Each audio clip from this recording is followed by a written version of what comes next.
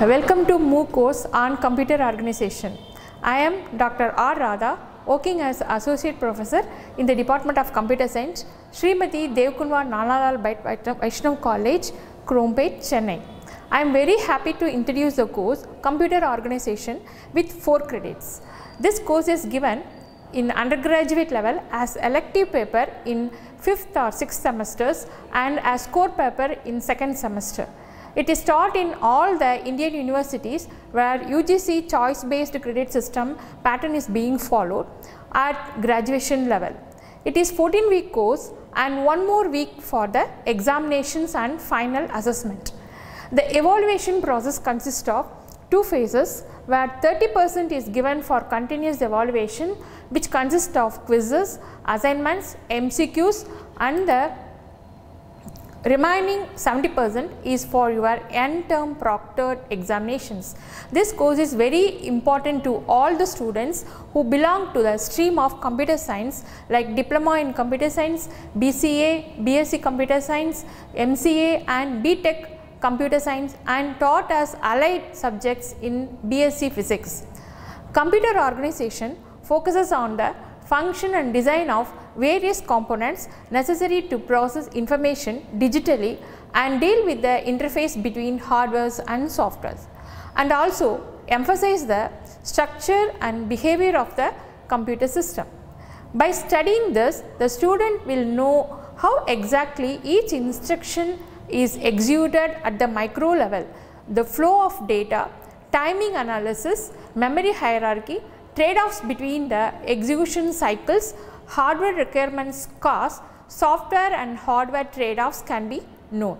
The computer organization will be taught in the first and second unit of this course. In third and fourth and fifth unit, Intel 8085 microprocessor is taught and its associated lab are explained in detail.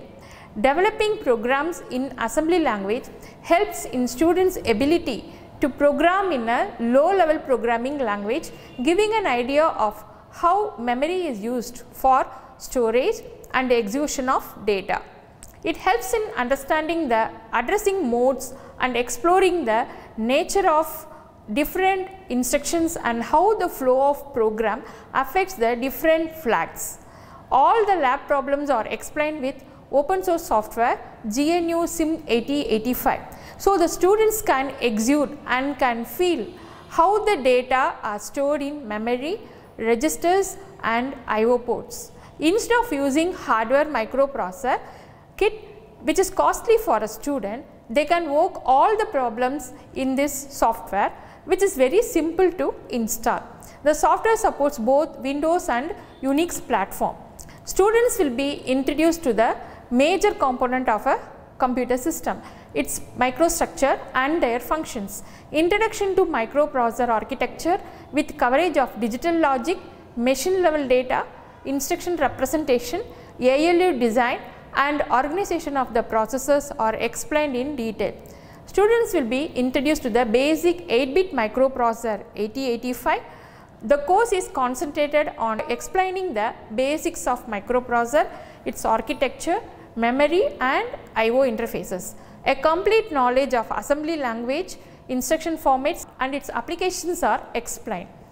The concept of memory, addressing, decoding, interrupts, DMA controllers and communication interfaces are also explained.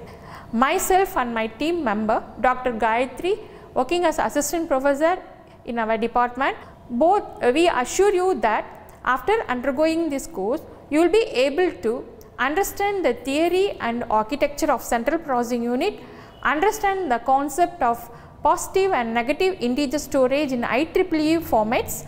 Also, the students will be able to implement programs in assembly language for the given problems, able to manipulate individual registers, memory, etc will have a complete knowledge of flag registers and the memory registers, will be able to write stack oriented programs and subroutines, will be able to write programs for counters and introduce time delays and calculate the execution time for each programs, will be able to do code conversions.